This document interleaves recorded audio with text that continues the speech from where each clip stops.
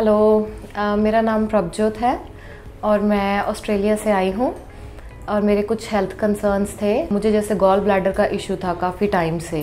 तो वहाँ पे मेरे um, कुछ स्कैन्स हुए तो डॉक्टर्स ने मुझे रेकमेंड किया कि गॉल ब्लैडर जो है वो निकलेगा। तो मैं क्योंकि खुद हेल्थ प्रोफेशन में हूँ I am a doctor myself तो मैं इतना ज़्यादा लेट नहीं करना चाहती थी इस चीज़ को। तो I started searching about some hospitals तो फिर चंडीगढ़ के कुछ हॉस्पिटल्स को फिर हमने शॉर्ट लिस्ट किया एंड देन सारे हॉस्पिटल्स के रिव्यूज़ देख के फिर हमने फाइनली डिसाइड किया कि let's go with the healing hospital हम यहाँ पे आए हीलिंग हॉस्पिटल में तो फिर जो यहाँ पे गैस्ट्रो के डॉक्टर हैं डॉक्टर कुमार अभिषेक, उनके साथ हमारी मीटिंग हुई। उन्होंने जो भी प्री रेक्विजिट्स होते हैं, जो भी आपके सर्जरी के पहले टेस्ट होने होते हैं, वो रेकमेंड किए।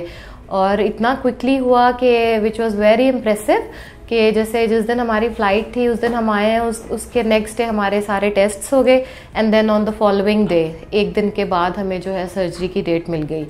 और I will be very honest कि जो हमारा सारा एक्सपीरियंस रहा है from the first day till end बहुत ही अच्छा रहा है इन टर्म्स ऑफ़ जो हमारा ट्रीटमेंट हमें मिला उसके बाद जो मेरी पोस्ट सर्जरी की रिकवरी हुई है दैट वाज रियली गुड मुझे एक तो इन्फेक्शन कंट्रोल का थोड़ा था मेरे माइंड में, कुछ मुझे प्रोसीजर्स का था कि एनेस्थीजिया कैसे देते हैं और किस तरह का प्रोसीजर होता है।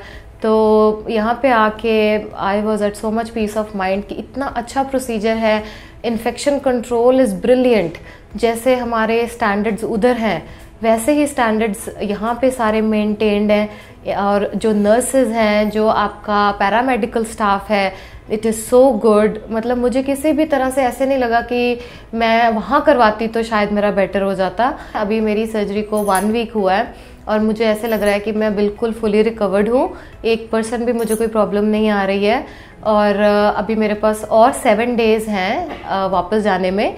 But I am hundred percent recovered मुझे ऐसे लग रहा है कि I am ready to fly tomorrow only जो भी कोई मेरी वीडियो देख रहा है मैं उनको यही एडवाइस करूँगी कि अगर आपको uh, कोई ऐसी प्रॉब्लम है तो आई डोंट थिंक कि आपको सेकेंड थाट देने की ज़रूरत है। You can easily trust these doctors the hospital staff the management everything is just very good I am really happy with the service thank you.